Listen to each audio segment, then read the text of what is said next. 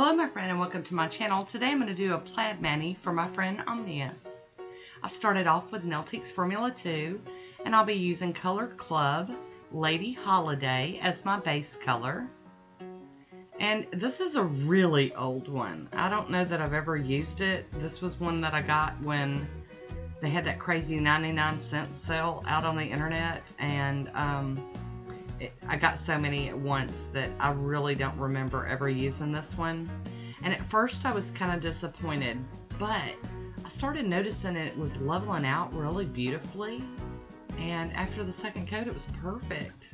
So big surprise, happy surprise. Hi Woody, how you doing? So I'm going to go in with the second coat and it's going to smooth it all out and it's just, it turned out to be a beautiful light gray polish. Beautiful. So it's going to be perfect for this plaid manicure that I'm fixing to do. Yep, that's a southern thing, fixing. I'm fixing to do it.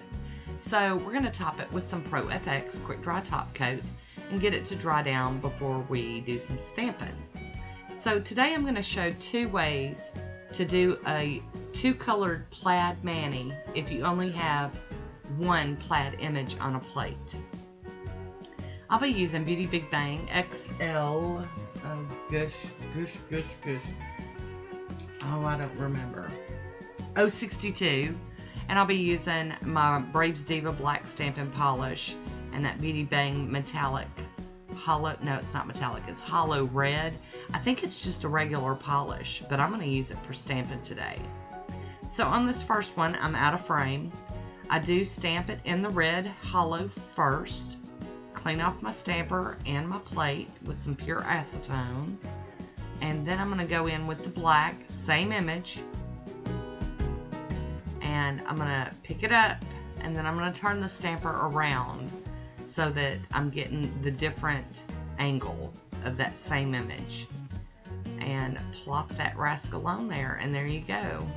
I'm going to show this again on my pinky, so don't don't worry. I'll, I will be showing it. The next style of doing this is where you just put drops of the different colors in, in the row, you know, kind of cattywamping them. And then scrape one good scrape and then pick up and then stamp it just like that. So if you only have one plaid image on a plate, you can do the double or even triple colors. You just let your mind go crazy. Now this plate did have two images on it, but I wanted to show you all out there, if you've only got one, you can still do this look. You can still rock it. just pick a way that you like doing it and do it. so this is the same as my middle finger and those two are going to match. And then my pinky, I'm going to go in with the red again and scrape I'm going to pick up and put that down on that pinky nail. I'm almost out of frame, but at least you can see it. And then now I'm going to go in with black. Same image, same everything. And here we go. I'm going to turn it around and then kind of line it up and stamp it down. So there you go. I am going to go in with a piece of tape and do a little bit of cleanup on my nails. Most of it came up really well, so now I'm going to go in with my cleanup brush and some acetone. You can use regular nail polish for this step if you like. Or you can do the college girl hack and just wait until you get in the shower. That's what my niece taught me. So I am going to cover it with the smudge-free top coat.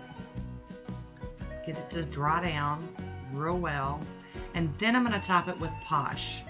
And we're going to seal this plaid design in and rock it through the week perfect, perfect manicure for this time of year. It has been nasty wet and cold here, so I was ready for some flannel looking, plaid flannel looking nails.